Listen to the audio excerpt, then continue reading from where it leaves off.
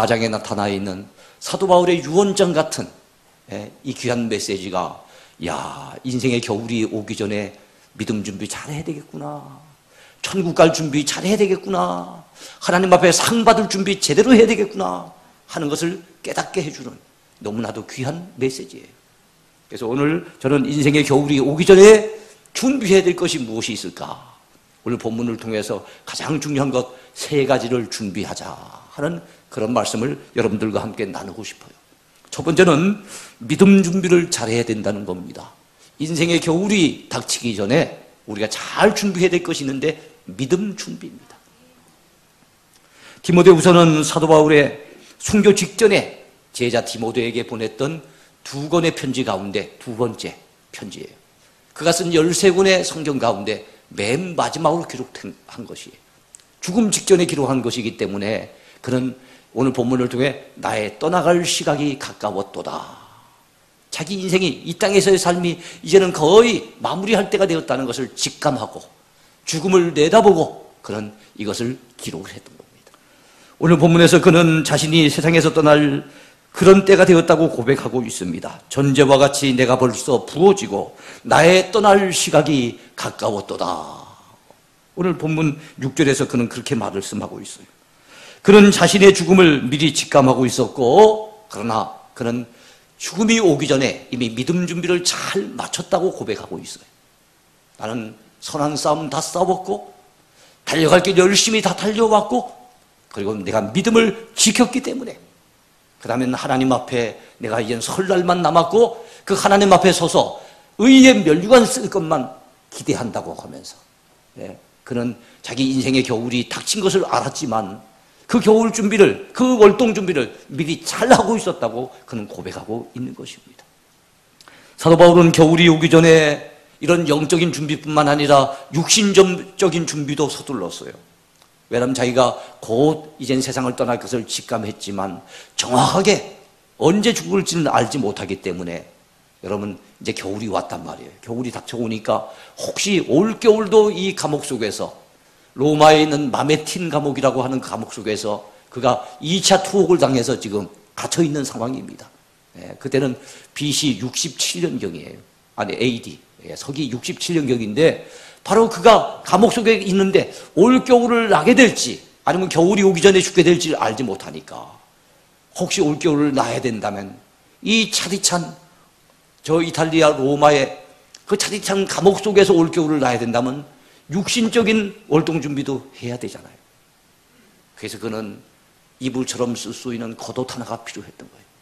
그래서 디모데 보고 뭐라고 얘기합니까? 네가 올 때 내가 가보의 집에서 가보라고 하는 또 동력자가 있었던가 봐요. 가보의 집에 겉옷을 갖다가 가지고 와라. 내가 거기 벗어둔 겉옷이 내게 필요하다. 그리고 너는 책을 가져오는데 이건 성경책인 것 같아요. 책을 가져오는데 가죽, 가죽 종이에 쓴 그 성경책을 가져오너라. 그런 겨울을 나면서 그 겉옷 하나라도 의지하면서 그 추위를 이겨내기를 원했고 그런 가운데 그는 감옥 속에 감옥 속에서는 다른 거 할 게 없잖아요. 그래도 말씀이라도 가까이 읽고 싶은 그런 마음에서 여러분 육신적인 겨울을 나기 위한 그 당부를 디모데에게 하고 있어요. 그러면서 오늘 읽었던 말씀의 막바지에 봤더니 막바지에 여러분 21절에 보면 너는 겨울 전에 어서 오라. 디모데 보고 빨리 오라고 얘기하면서 올 때 마가를 데리고 오라고 얘기를 하면서 그러면서 너는 겨울 전에 속히 내게 오라. 속히 오라는 걸 보니까 이제 겨울이 임박한 것 같아요. 네. 그래서 겨울 전에 속히 와달라고 당부하는 내용이 오늘 본문에 나와 있습니다. 네. 그가 준비하고 있는 것은 뭡니까? 육신의 겨울. 네. 육신의 겨울을 준비하고 있는 거예요. 그러나 그의 영적인 겨울은 준비가 이미 끝났어요. 영적인 겨울은 오늘 이 순간 하나님이 나를 부르신다 해도 내가 선한 싸움 지금까지 잘 싸워왔고 내가 달려갈 길을 열심히 이 사명자의 길을 열심히 달려왔고 그리고 지금까지 믿음 흔들리지 아니하고 믿음 빼앗기지 아니하고 악한 마귀가 우는 사자와 같이 환란과 시험과 여러 가지 예? 고초를 통해서 그에게 달려들었지만 그는 흔들림 없이 믿음을 지켜냈기 때문에 영적인 준비는 그는 단단히 하고 있었던 거예요. 여러분, 우리는 겨울을 앞두고 육신적인 활동 준비도 해야 되겠지만, 우리 인생의 겨울이 언제 되는지 우리는 모르잖아요. 인생의 겨울은 80이 되어야만 찾아오고 90이 되어야만 찾아오는 것은 아닌 것 같아요. 사람들마다 각기 다른 겁니다. 그래서 하나님이 언제 우리를 부르시더라도 언제 우리 인생의 겨울이 닥쳐온다 할지라도 우린 영적인 준비, 믿음 준비만은 제대로 하고 있어야 되지 않겠습니까? 그런 믿음 생활은 나중에 잘하는 게 아니에요. 은퇴 후에 잘하겠다. 예? 노년이가 되면 그때는 열심히 신앙생활을 잘해보겠습니다. 그게 아니에요. 믿음 준비는 항상 잘해야 됩니다. 믿음 준비는 지금 잘해야 됩니다. 구원받는 것, 영생 얻는 것, 천국 가는 것, 하나님 앞에 부끄러움 없이 서는 것, 이 모든 것이 믿음이 있어야만 가능한 일입니다. 우리의 행함은, 우리의 행위는 하나님 앞에 드릴 게 없어요. 행한 대로 갚으시면 주님 앞에 고개 들 수 없는, 별 수 없는 죄인들이 저와 여러분들의 모습입니다. 그 때문에 여러분, 우리의 그 못난 모습 가지고 어떻게 하나님 앞에 자랑스럽게 설 수 있겠어요? 우리가 내놓을 것은 믿음밖에 는 없는 거예요. 근데 그 믿음마저도 제대로 준비하지 못한다면, 그 믿음마저도 빼앗겨 버린다면, 코로나가 왔다고 뭐 조금 어려움이 있다고 해서 그 믿음마저도 흔들려 버린다면, 여러분, 우리가 어떻게 하나님 앞에 갈 수가 있겠습니까? 그러면 여러분, 믿음 준비 잘 해야 될 줄로 믿습니다. 이쯤에서 우리 자신의 믿음을 한번 점검해 봅시다. 내 믿음은 진실한 믿음일까요? 내 믿음은 확고한 믿음입니까? 내 믿음은 흔들림이 없는 굳건한 믿음입니까? 내 믿음은 세속에 때묻지 아니한 예? 그리고 정말 하나님 앞에 신실하게 다져진 건강한 믿음입니까? 특별히 내 믿음은 말로만 믿는 믿음 말고 행함이 없는 죽은 믿음 말고 살아있는 믿음 주님을 향한 열정을 가진 믿음 주의 말씀에 순종할 줄 아는 산 믿음을 우리는 소유하고 있습니까? 우리 모두 이런 믿음을 소유해야 될 줄로 믿습니다. 이런 믿음의 준비를 잘 갖춰야 될 줄로 믿습니다. 두 번째입니다. 자, 우리가 인생의 겨울을, 겨울이 오기 전에 준비해야 될 두 번째, 상급받을 준비를 잘 해야 됩니다. 상급받을 준비를 잘 해야 돼요. 네. 우리가 인생의 겨울이 오기 전에 준비해야 될 것 중 또 다른 하나가 바로 상급받을 준비예요. 구원은 믿음으로 받습니다. 그러나 하나님 앞에 상급은 우리가 하나님 앞에서 행한 대로 받습니다. 우리 하나님은 행한 대로 갚아주십니다. 뿌린 대로 거두게 하십니다. 수고한 대로 상을 주신다는 것을 여러분 믿으시기 바랍니다. 우리가 턱걸이에서 겨우 구원받아 천국에 들어간 것으로 만족하면 안 됩니다. 네? 우리 모두는 하나님 앞에 상 받는 자로 서야 됩니다. 칭찬받고 상 받는 그런 복된 인생이 돼야 됩니다. 예. 오늘 본문 8절에 보면은요, 사도 바울은 확신에 찬 마음으로 하나님 앞에서 의의 면류관을 쓰게 될 것을, 하나님 앞에 상급으로 의의 면류관을 쓰게 될 것을 그는 예, 내다보면서 기대감을 감추지 않고 있습니다. 뭐라고 8절에서 말씀합니까? 이제 후로는 나를 위하여 의의 면류관이 예비되었으므로 주곧 의로우신 재판장이 그날에 내게 주실 것이니 내게만 아니라 주의 나타나심을 사모하는 모든 자에게도니라. 그렇게 말씀하셨어요. 그 말씀 속에 아 이건 사도 바울만이 쓸수 있는 게 의의 멸류관이 아니구나. 주님의 나타나심, 주님의 재림하심 그것을 갖다 사모하면서 믿음 준비를 잘 갖추면서 정말 주를 위해서 애쓰는 사람들이 다 쓰게 될 것이 의의 멸류관이구나 하는 것을 알게 됩니다. 여러분 열심히 공부한 학생은 겨울방학 들어가기 전에 교장 선생님 앞에 불려나갑니다. 왜요? 우등상 받으려고. 그 졸업식을 거행할 때는 어떻습니까? 또 역시 앞으로 나가요. 왜요? 우등상을 받거나 개근상을 받거나 아니면 공로상을 받거나 뭔가 상을 받기 위해서 나가는 거예요. 많은 사람들이 있는 데서 여러분 상 받아보신 기억이 있죠? 별 기억 없습니까? 예, 이거는 진짜 경험해봐야지 알아요. 이야, 기분 좋습니다. 예. 그래요. 사람들 앞에서 상 받는 것도 이렇게 기분 좋고 행복한 법인데 더더욱이나 하나님 앞에서 하나님 앞에서 잠깐뿐인 효력의 상이 아닙니다. 예?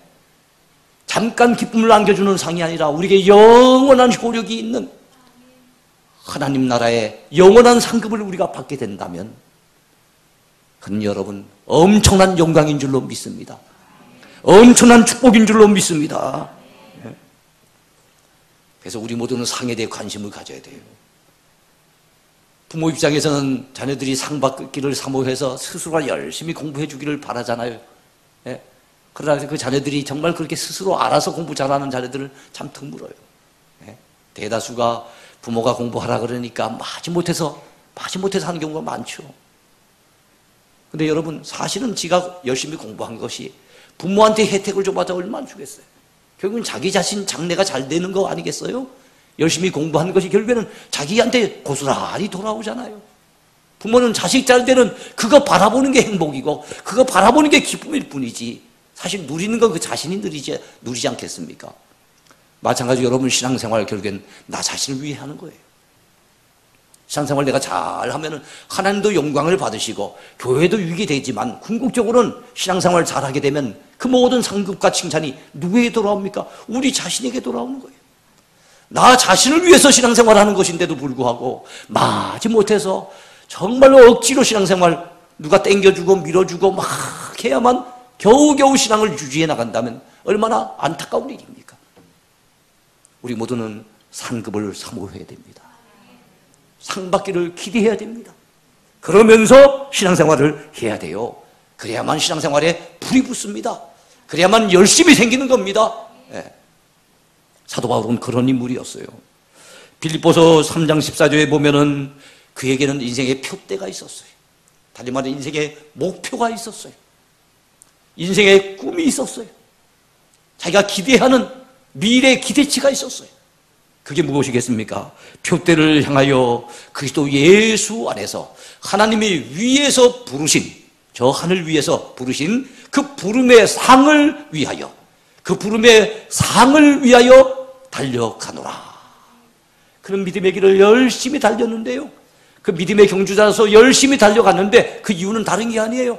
저 위에서 나를 부르신 하나님, 그분 앞에 상 받는 거 위하여서 그것을 표대 삼아서 그 목표를 향하여서 열심히 줄다름 쳤다고 그는 고백하고 있잖아요.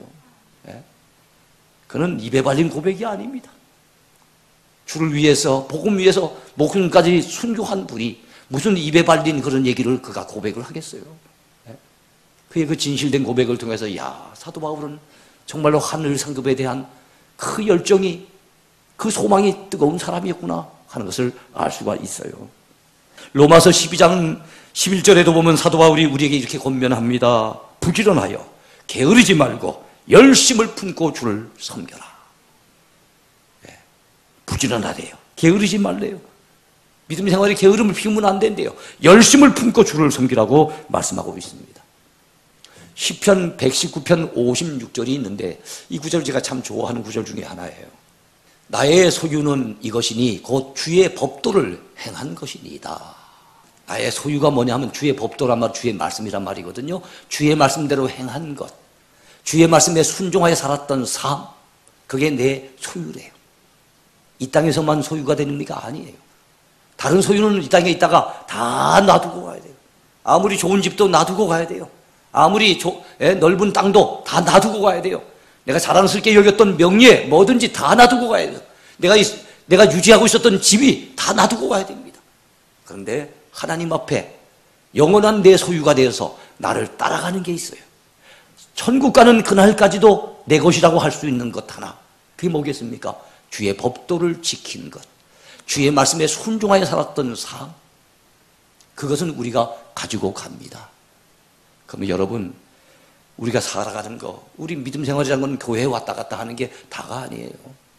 예? 교회 와서 우리가 은혜 받고 내 믿음이 더 새로워지고 내 믿음이 더욱더 자라서 그동안은 주의 말씀을 한 귀로 듣고 한 귀로 흘렸는데 이제 내 믿음이 자라서 어떻게 됩니까? 내가 말씀대로 순종하고 믿음의 열정을 가지고 충성 헌신하고 내 맡은 직분, 맡은 본분을 최선을 다해서 감당을 하고 예? 그 다음에 어려운 이웃들이 있다면 돌아보고 도와주고 그리고 복음 전하는 일, 그래서 한 영혼 한 영혼이 구원받는 걸 하나님이 너무너무 기뻐하신 것을 알고 전도하는 일, 선교하는 일에 그게 내가 시간을 바치든지 물질을 들이든지 내 마음을 쏟든지 간에 그 일에 헌신하며 사는 거. 여러분 이런 삶들이 영원한 내 소유가 되고 주님 앞에서 상 받게 될 제목이 된다는 것을 믿으시기 바래요. 그래서 우리 모두는 사도 바울처럼 상급 받을 준비 잘해야 됩니다. 그러려고 한다면 내 믿음을 입술만의 믿음, 머릿속에 그저 지식만의 믿음으로 끝나지 말고 주의 말씀대로 살아가는 그 말씀에 순종하여 사는 참된 삶, 복된 삶이 내게 필요하다는 거예요. 이렇게 살 수 있게 되기를 축원합니다. 네. 마지막 세 번째입니다. 마지막 세 번째는요. 우리가 무슨 준비를 해야 되겠습니까? 천국 갈 준비를 잘해야 됩니다. 천국 갈 준비. 오늘 본문 18절에 사도 바울은 분명히 고백합니다. 자기는 천국에 들어갈 만반의 준비가 다 끝났다는 거예요. 뭐라고 얘기합니까? 여러분 18절을 보시기 바래요. 주께서 나를 모든 악한 일에서 건져내시고 또 그의 천국에 들어가도록 구원하시리니 그에게 영광이 세세 무궁토록 있을지어다. 아멘. 야, 주께서 나를 건져내셔서 천국에 들어가도록 구원하실 것은 구원하실 것을 그는 확신하고 있는 거예요.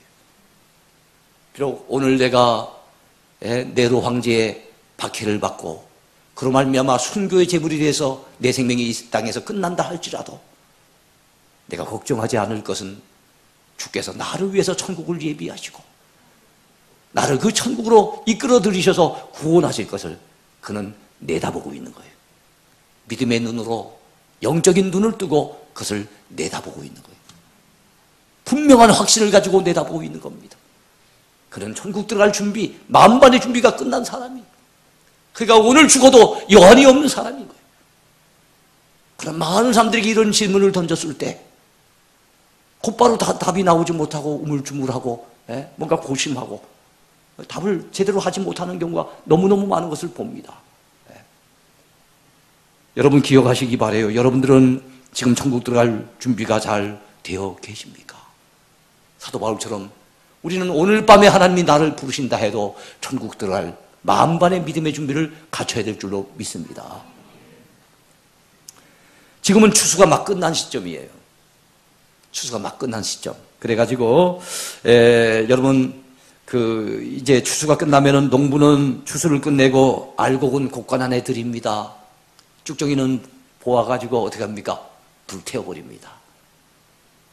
자 그런데 이 세상 종말의 때 역시 세상 모든 사람들은 알곡과 쭉정이로 나누어진다는 것을 기억하시기 바랍니다. 그래서 알곡 신자는 천국으로 들이시고 쭉정이 신자는 저 영혼이 불타는 지옥불로 하나님이 던지셔서 심판하신다는 것 잊으면 안 됩니다. 네. 그거 잊어버리면 안 됩니다. 여러분, 알곡은 속이 꽉 차 있어요. 근데 쭉정이는 겉에 보면은, 겉에 보면은 괜찮은 것 같은데 속을 들여다보면 텅 비어 있는 거예요. 그러니까 알곡은 주인을 갖다 농부되는 이 주인을 갖다가 아주 길, 즐겁게 해주지만 쭉정이는 그 농부를 실망시킵니다. 마찬가지로 알곡 신자는 하나님을 기쁘시게 하지만 쭉정이 신자, 껍데기 신자는 하나님을 실망시킵니다.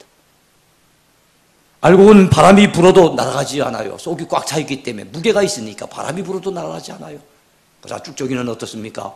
여러분 탈고 가고 난 다음에 이그 죽정이들을 모으기 위해서 땐 바람을 막 선풍기 큰 거 있잖아요. 그 막 돌립니다. 그러면 죽정이들이 다 날아가 가지고 한 곳에 모이게 되는 거예요. 속이 차 있지 않은 죽정이는 결국엔 날아가요. 마찬가지 여러분 코로나가 온다, 어떤 시험이 온다, 어떤 환란이 온다 해도 알곡 신 자는 날아가지 않아요. 세상 가운데 날아가지 않습니다. 그 믿음은 흔들리지 않아요. 그러나 여러분 그 속이 믿음으로 채워지지 않은 텅 빈 신자는 그동안 교회는 왔다 갔다 했지만 껍데기에 불과했던 신자, 쭉정이에 불과했던 신자는 조그마한 시련이 와도 조그마한 환란의 바람이 불어도 다 세상 가운데 날아가 버립니다. 여러분은 쭉정이가 되지 마시기 바랍니다. 우리 모두 알곡 신자가 되어야 될 줄로 믿습니다. 알곡과 쭉정이는 평소에는 구분이 안 돼요. 그런데 추수 때가 되면 그때 판가름이 납니다. 여러분 추수 때가 오기 전에 미리 그 쭉정이 다 모아가지고 불태우고 이런 거 봤습니까? 없잖아요. 평소에 그냥 쭉정이 알고 같이 자라는 거예요. 근데 나중에 여러분 그 추수 때가 되어지면 그걸 판가름 내는 것처럼 하나님께서는 악인을 갖다가 당장 벼락을 내리셔갖고 당장 벌을 주시고 하시면 좋겠는데 하나님 그렇게 안 하세요. 특별한 경우 아니면 그렇게 안 하시고 그냥 마지막 심판의 때까지 놔두시는 거예요. 마지막 하나님이 심판하시는 그때가 영적인 초숙입니다. 그때 알곡 신자와 쭉정이 신자가 분명하게 갈라질 겁니다. 겉만 번지르르 했던 외식하는 예? 믿는 신흥만 갖췄지만 그 속에는 믿음이 채워지지 않은 예? 그런 가짜 신자들과 그 속에 진실된 믿음으로 꽉꽉 들어찬 알곡 신자가 마지막 때에 갈라지게 되는 거예요. 그 운명의 날이 분명히 온다는 것을 우리는 잊어버리면 안 됩니다. 알곡은 곳간 안에 들어갑니다. 그러나 죽종이는 결국에는 타는 불구덩이 가운데 던져지게 돼요. 알곡 신자는 천국에 들어가고 쭉정이 신자는 영원한 불못, 예, 지옥불에 던져지게 된다는 것 우리가 잊어버리면 안 돼요. 이게 성경이 가르치는 분명한 진리예요. 많은 사람들이 이거는 일부러 생각 안 하려 합니다. 잊어버리려고 하고, 예, 관심을 안 두려고 해요. 왜냐하면 생각하면 고, 고민되고, 생각하면 굉장히 마음이 괴로우니까.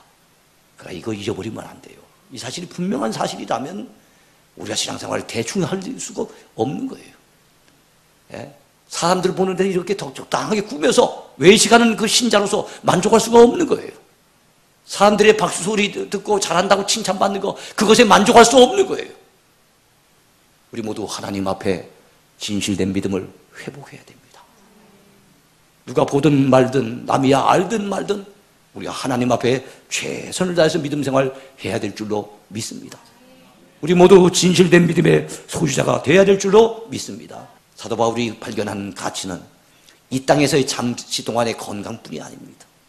이 땅에서 누리는 잠시의 생명이 아니고 이 땅에서의 부귀영화가 아니라 사도 바울이 그가 추구했던 최고의 가치는 잠깐뿐인 이 세상에서 영화가 아니라 영원한 천국에서 누리게 될 그 영생과 구원의 은총과 거기서 받게 될 하나님의 칭찬과 상급 그것이 가장 가치 있고 가장 영원한 것이라는 것을 사도 바울은 깨달은 거예요.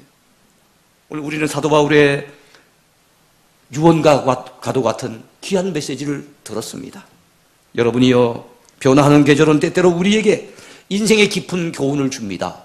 그래서 가을이 가면은 추수가 끝나면 이제 단풍이 낙엽되어 떨어지면 추운 겨울이 온다는 것을 그 계절은 우리에게 뭔가를 시사해 주지요. 우리 인생에도 겨울이 온다는 것을 시사해 줍니다. 자연이 우리에게 가르쳐 주는 교훈이에요. 우리 인생에도 겨울이 옵니다. 겨울 준비, 월동 준비 잘 해야 되겠죠. 뭘 준비해야만 우리의 영적인 월동 준비가 될 수 있을까요? 믿음 준비 잘 해야 됩니다. 하나님 앞에 상급받을 준비 제대로 해야 됩니다. 믿음의 열심을 내야 되겠죠. 그리고 천국 들어갈 준비 잘 해야 됩니다. 우리의 영원한 고향이 그곳이고 우리의 영원한 집이 우리를 기다리고 있습니다. 이 준비 철저하게 하는 어리석은 인생이 아니라 정말로 지혜로운 삶을 사는 여러분 모두가 되기를 축원해 드립니다. 앞에 섭니다. 모든 염려 주께 맡기고 수많은